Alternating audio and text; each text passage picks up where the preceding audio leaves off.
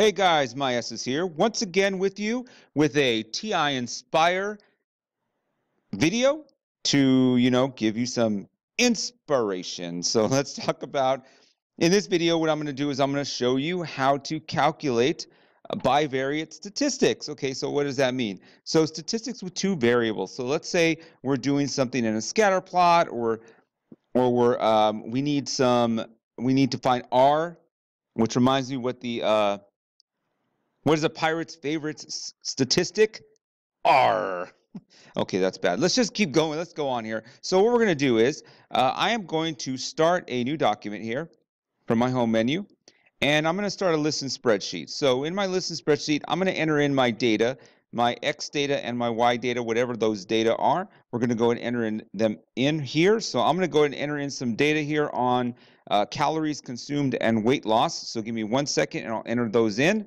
All right, here we go. So I have calories and just like, you know what, that's magic, right? Boom, ha, there I go. Uh, calories and weight loss. So I'm just gonna scroll down here so you can see the values that I have. So if you have your TI-Nspire in front of you, you can go ahead and enter in these values into your spreadsheet as you work along with me. Okay, so there we go. We've got all our values in. We've got two variables, variables of calories and weight loss.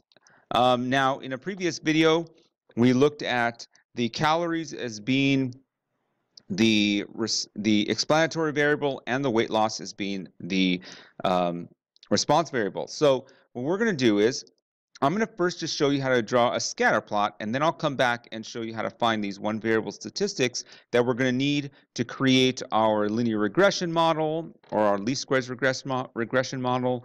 Uh, we're going to need to calculate R, or for or we calculate R squared later on. So Let's go first and let me show you how to draw a scatter plot. So in a scatter plot, we're going to hit Control Doc to get a new page, and we're going to have a data and statistics page.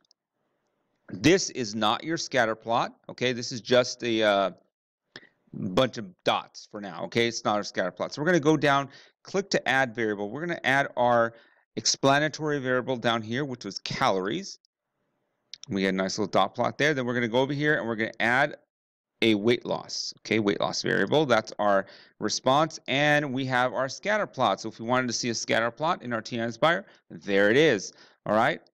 And we've got our points. Let's suppose we made a mistake. We can always go back, and if we change one of these, it'll automatically change in our Nspire. That's perfectly great. Um, that's one thing I love about the TI-Nspire. So here, we're going to go back to our spreadsheet now and we are going to determine the two variable statistics. So we're going to hit menu, statistics, that's the class we're in, stat calculations, and we have two variable statistics. So we're going to click on that. Our X list is our explanatory variable, which is calories. Our Y list is our, our, our response variable, which is weight loss. We don't have any frequency list in this case, so we're going to go and skip that. And we're going to go and skip everything else because we don't need it for this particular problem. We're going to go ahead and hit OK. We're going to put our result in, um, in column D. And here we go. So in our column D results, um, it's going to give us our X bar. X bar is going to be our explanatory variable. So we have a mean of 1,796 calories. That makes about uh, kind of sense there. Uh, we have the sum of x's, sum of x squared, which we don't quite need. Here's our standard deviation of our x. We're going to need our x bar and our and our standard deviation to calculate the linear regression later on. Um, we have the number of things. Now we have y bar. See, that's nice of it to give us the mean of the y variables, the standard deviation of the y variable. Here we go. Here is r. Here's our, the, our correlation coefficient of 0.975. That's telling us this is a strong linear correlation, right? So we've got a strong linear correlation. We have our quartiles here for our x values, our quartiles, and our median for our y values. And we have our sum of the x's, which we uh, we actually don't need for this particular problem unless you have a professor that uses that to find the standard deviation. All right. So there are all of our um, statistics that we can get from two variables.